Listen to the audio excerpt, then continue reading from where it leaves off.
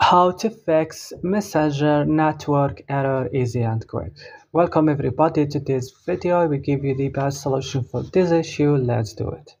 So open the settings of your mobile phone, click on your apps option, search for Messenger and click on it. Guys, you will find this list. Just scroll it down, click on your storage, click clear cache here and you should back. Click on force stop and click here OK. Go now and turn on your airplane mode.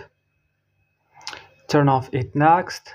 And after doing that, go to Play Store, update your messenger, restart your device, and that's all. Don't forget to like and subscribe in this channel. And bye.